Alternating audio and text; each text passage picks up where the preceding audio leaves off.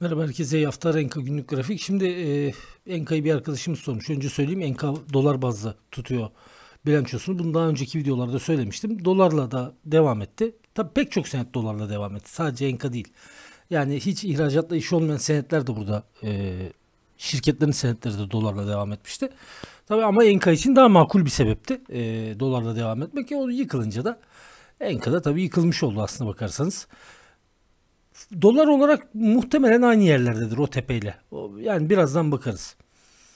Tabi 50 ortalamaya bir temas aldık 13.66'ya. Ee, 50 ortalama bundan sonra destek olarak takip edilir 13.60 civarları.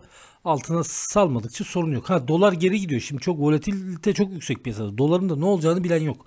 Açık söyleyeyim. Yani kimse bilemez. Ee, işte sert bir düşüşler geliyor. Çıkışta dün 10.30'u gördük. İşte efendime söyleyeyim bir geliyor 11 12 Orada tekrar satılıyor. İşte zaten makas da çok açık yani pek vatandaş da alıp satamıyor şu anda.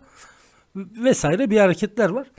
Bunların bir yerde dengelenmesi lazım doların ki bu işlerinde e, dengesini gör, görelim ona göre. Çünkü onlar da aynı şekilde oynamaya devam ediyorlar. Bir kere volatiliteye o yüzden dikkat etmek lazım ama tabii 13.66 TL bazlı önemli bir destek. E, tabii görünüm iyi değil bu haliyle. Bütün ortalamaların altına indi kısa vade.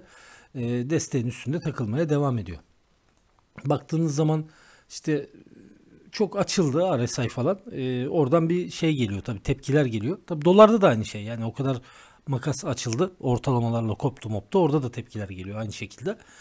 E, 44 RSI yani iyi bir bölge değildir RSI olarak. MACD'ye baktığınız zaman onun da negatif olarak devam ettiğini görüyoruz. Dolar dediğim gibi dolar bazlı tutan bir e, şirket. Ha siz şunu diyebilirsiniz ya ben bakıyorum bilançosuna TL bazlı. Onlar çevirip veriyorlar o günkü kurdan e, o kura göre bir e, şey çevirip e, veriyorlar. Bu tahmin ettiğim gibi yani dolar bazlı aynı yerde yıkıldı. Dolar bazlı olarak söylüyorum tabii TL bazlı değil. Ya bunlar bir taraftan iyi şirketler. Yani biraz önce şişe de öyle mesela. O da dolar bazlı yukarıda 1.22'de.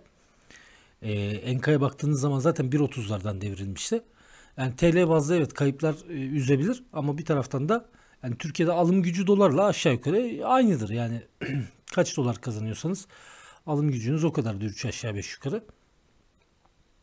Burada da 1.32 tepesi var.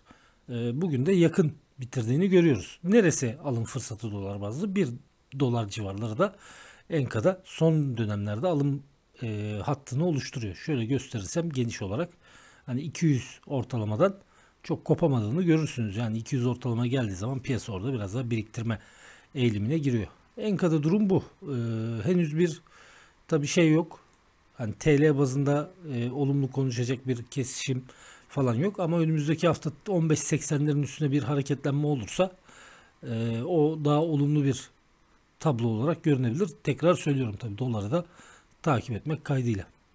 Herkese iyi akşamlar.